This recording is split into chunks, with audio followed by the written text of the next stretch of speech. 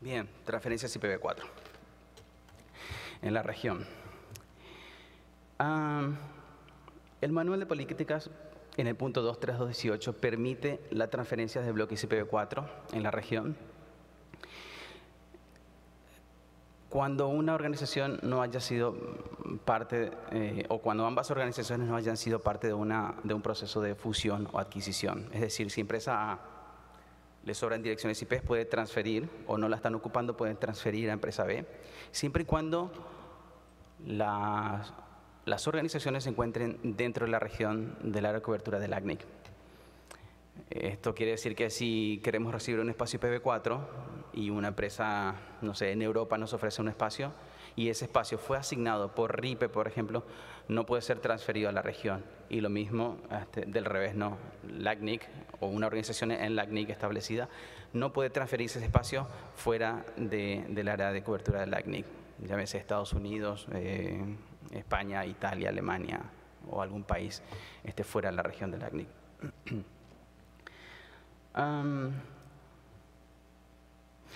uno de los puntos a tener en cuenta, una organización que transfiere espacio IPv4 dentro de la región del ACNIC no puede volver a recibir espacio IPv4 en un periodo de 12 meses. Y las organizaciones que reciben espacio IPv4 por primera vez, este, siendo nuevos miembros, no pueden transferir ese espacio en un, en un plazo de tres años. Solo tener en cuenta eso.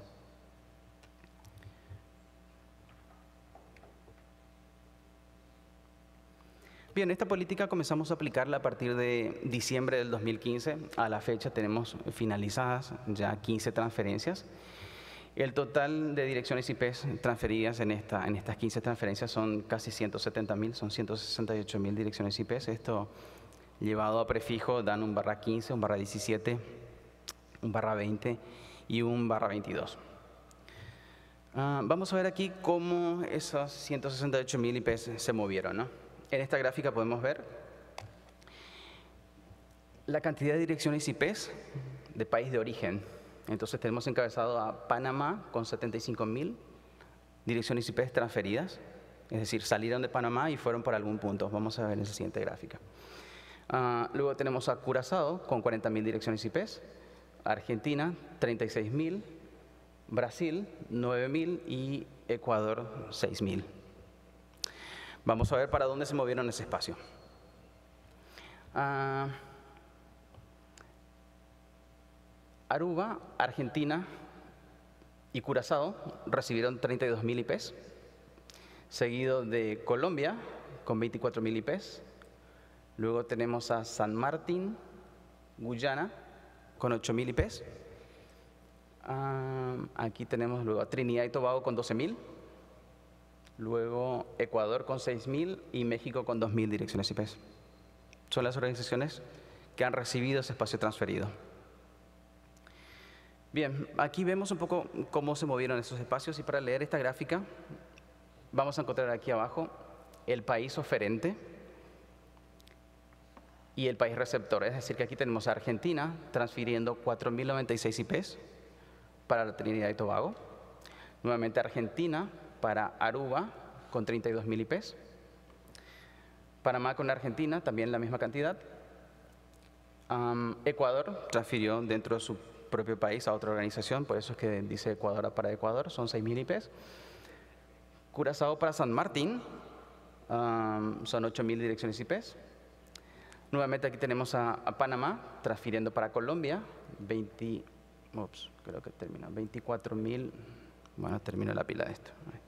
24.000 direcciones IPs. Panamá para Trinidad y Tobago con 8.000.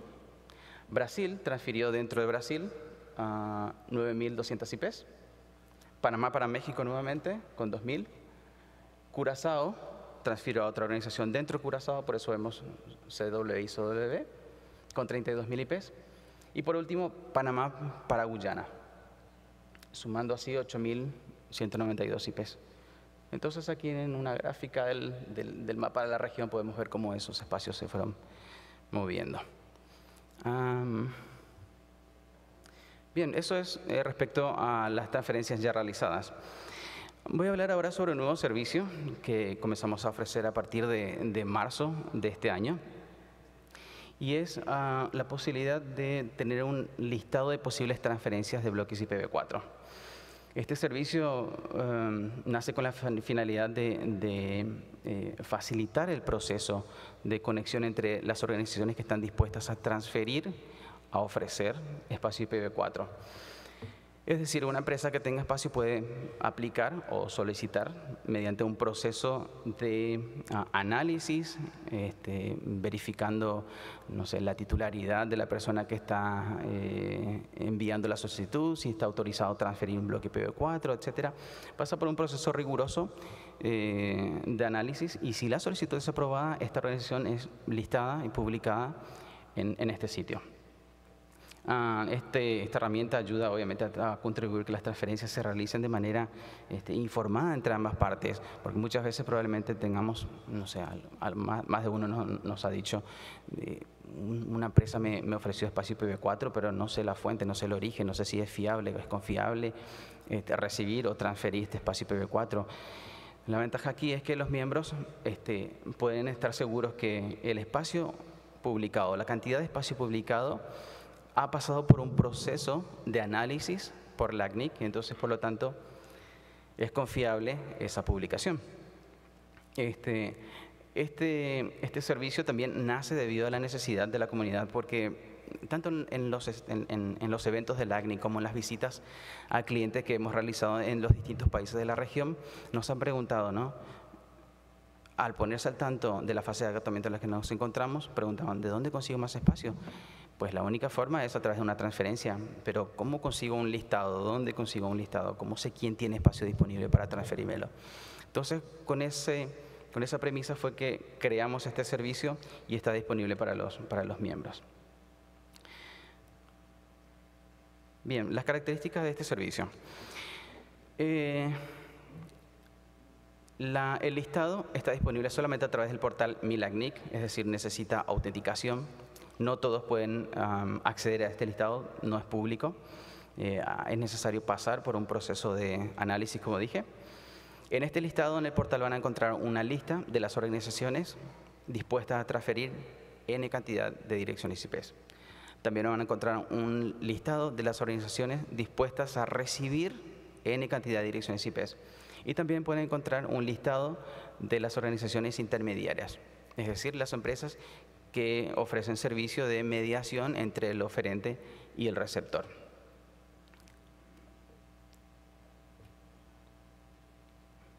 Bien, como dije, este servicio solamente está disponible para aquellas empresas que se postulen y hayan pasado por un proceso de eh, análisis y, y aprobación. Este servicio tiene un costo de, 200 dólares eh, y la publicación es válida por 12 meses. Eh, si quieren más información al respecto, pueden entrar en este link. La, presentación ya está disponible en la página del evento, así es que pueden hacer clic aquí o entrar mismo en la página del, del ACNIC en la sección lista de posibles lista de transferencias IPv4. Eh, bueno, eso es todo por mi parte. ¿Preguntas? ¿Preguntas? ¿Dudas? Yo, ¿Alguien? yo sé, yo sé, pregúntame, pregúntame. Ahí tenemos. Sí, gracias. Uh, Lee Howard Retevia. With the listing service, um, the, uh, mem only members can see what's listed. Can you summarize uh, how many blocks are currently listed? How many blocks, what? How, how, are, there, are there current listings in the listing service, and about how many? Uh, we, we you say about the um, possible um, IPv4 transfer list, right? Yes. Uh, currently, we, we receive, uh, I think, more than 40 um, organizations applying as uh, receipts. Receipt. Uh, in a foreign organization, uh, we didn't receive. Yep. And I think we have uh, an, two IP broker applying for, for this. Gracias. You're welcome. Sergio, en el proceso de transferencias, eh, uno es usar este mecanismo. Otro es que dos partes se pongan de acuerdo y hagan la transferencia y confíen una, una con la otra. En ese caso de transferencia, ¿qué sería, si podés explicar un poco más cuál sería el proceso eh, que deberían formalizar con LACNIC para hacer la transferencia eh, y qué, habría que demostrar? Porque también eso te va a facilitar de que no hagan estas transferencias clandestinas o este... Bien, este, tenemos controles estrictos al momento de recibir una solicitud. Primero que nada, porque como permitimos el acceso a través del, de- del sistema de solicitudes, la persona que tiene acceso al sistema de solicitudes y puede transferir un bloque PP4 es solo el punto de contacto administrativo. Ahora bien, supongamos que el punto de contacto administrativo haya salido de la organización y quiere hacer un mal uso de esas direcciones IP y transferirlo de forma no autorizada. En el proceso de análisis vamos pidiendo documentación. Por ejemplo, que el documento debe ser, eh, entre ambas partes deben firmar un documento, un acuerdo de transferencia, y va a firmar el representante legal de una organización, de la receptora, como de la, oferente. Y vamos a pedir un documento legal que demuestre la representación legal del firmante. En muchos casos inclusive pedimos una carta membretada sellada y firmada este, por la organización oferente, indicando que está de acuerdo en transferir esta cantidad de espacio o este prefijo, esta red para esta organización. Eh, así que tenemos unos controles bastante estrictos para, para ese tipo. En algunos casos, inclusive, si podemos tener llegar a dudas, eh, tenemos eh, como procedimiento interno mm, contratar a alguna empresa que se encargue de hacer una auditoría en ese país y verificar si los datos son realmente válidos. Pregunten, pregunten. Bueno, este, bueno, muchas gracias a todos. Eh, cualquier cosa voy a estar en el break por ahí eh, o en el stand del ACNI que está pegado a la mesa de registro. Que pasen bien.